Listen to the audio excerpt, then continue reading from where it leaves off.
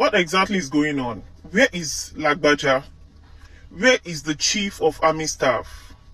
Right now, there is a breaking news um, because um, President Tinubu appointed an acting chief of army staff.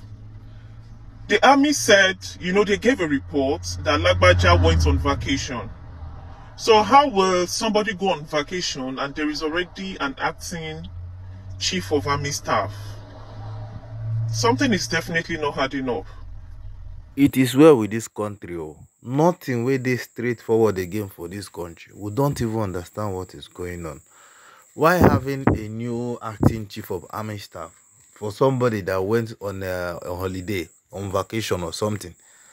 Ah, it is at the there was one time it rumored that this man by and it had just been rumor rumor we don't even understand what is happening again anyway if you understand what is happening with our chief of staff please kindly let us know on the comment sections what do you know about this and in case you are not following us please do well to subscribe to this channel encourage us with your subscription so that we can always bring you trending and breaking news as they happen Meanwhile, let us know if you have information about our Chief of Staff.